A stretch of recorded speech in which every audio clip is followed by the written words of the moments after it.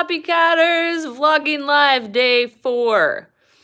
One of the topics that someone suggested that we do was um, how do I keep things interesting after having my cats for 10 years? You know, like how do I keep them from not being bored?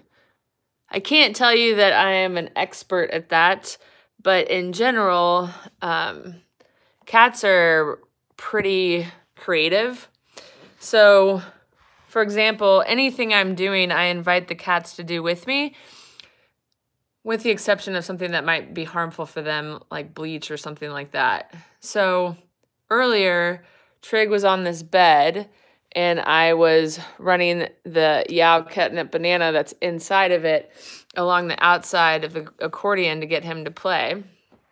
So, we'll see if he'll do that.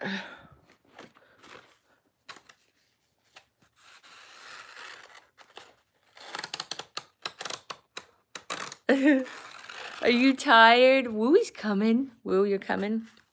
Wooey's a little more aggressive when it comes to playing with the banana in the accordion bed, but we'll see. Gotta get in the bed. He was eating, so. see how Charlie just stuck his paw in that hole? I mean, that's that's the beauty of cats. You don't really have to work too hard to keep them entertained. I also was raised with one cat and a German Shepherd, and um, two animals. I mean, kids number one are like the best for cats. Are yes to keep cats entertained. If the cat is a good kid cat, if the cat doesn't like kids, then that's a whole other bag of worms.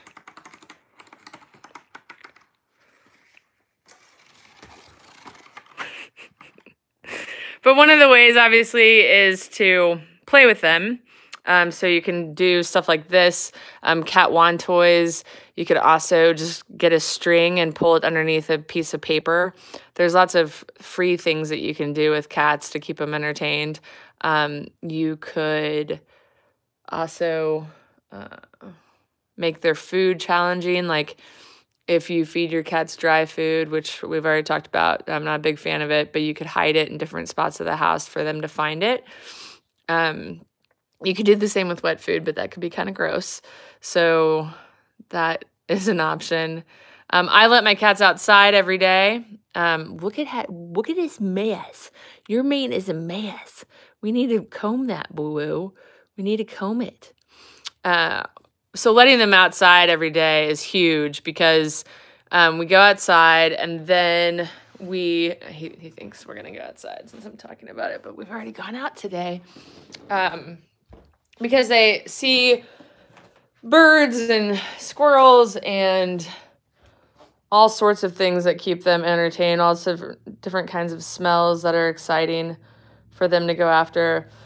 We have this ripple rug and then that um, cat puzzle toy right there. So you can put treats or dry food in that for them to fish out. Uh, technically, I guess you could put wet food in there too and then just rinse it off since it's all plastic. Stacy said, I don't like dry food either, and I've had issues with previous cats before getting UTIs with dry. Um, sorry, I think somebody was knocking at my door. And that's why one of my cats is on canned food. And yes, I agree, Stacy. It's really important that cats are on canned food.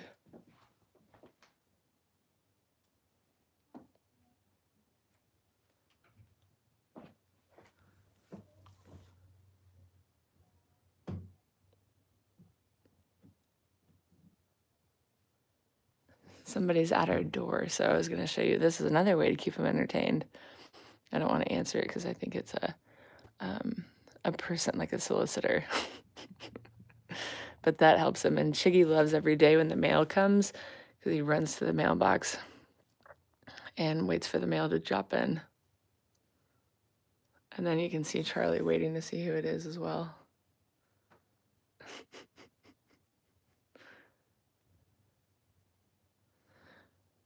So I've talked about how I don't like to have a schedule or routine with my cats, and one of the reasons that I don't like to have that is because um, it kind of makes you tied to their schedule. So when I say that, I mean on their food.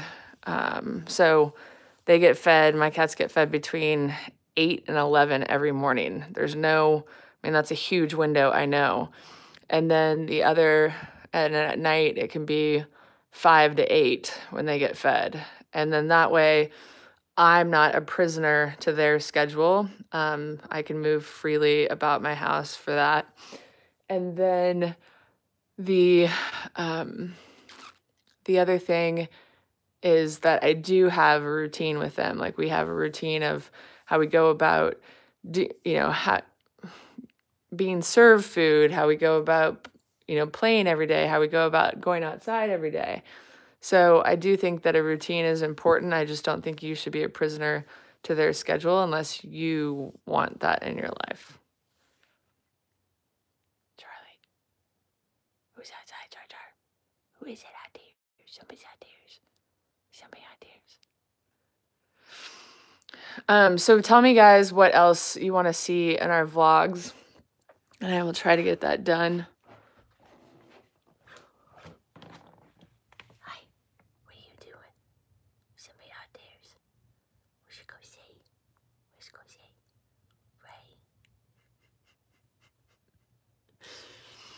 In general, though, I think cats are pretty good at keeping themselves entertained, especially if you have things around the house that will stimulate their curiosity.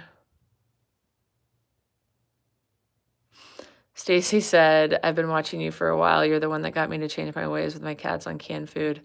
I love you. Well, thank you, Stacy. We love you too.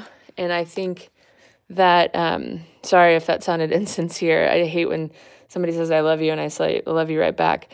But I do. I I love all floppy catters that sit here and watch us.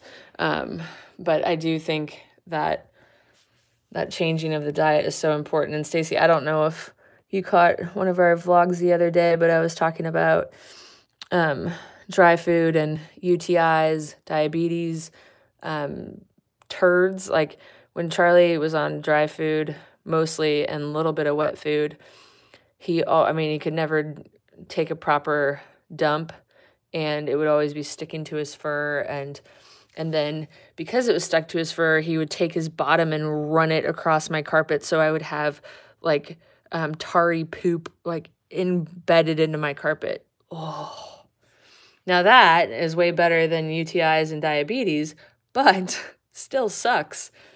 So i'm a big fan of no dry food but i also mentioned the other day that Charlie is on two tablespoons of dry food again to get him to eat. See, you got these? What's that these? Go ideas? Oh, that brings up another thing. Um, as far as cat entertainment is concerned. So Trig will get on this Papasan chair and then he'll poke his head through those blinds and see who's out there. Um, so I think having, you know, window access to for an indoor cat is huge where you can open up the blinds and they can watch squirrels and birds and people walk by if you're in a neighborhood type of situation. All right, guys. Well, I think that's our vlog for today.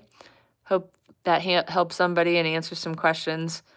But in general, I don't really think hard on what to do um, to entertain my cats. It just kind of comes naturally based on my personal experiences. And I also don't like to be bored, so I'm always doing something to entertain myself as well, which helps them be entertained. Cheek. Cheek. Oh, and then I have like random stuff like this on the door, and Trig has, you know, he'll go up and hit it and whack it. All right, guys. Hope you have a great day.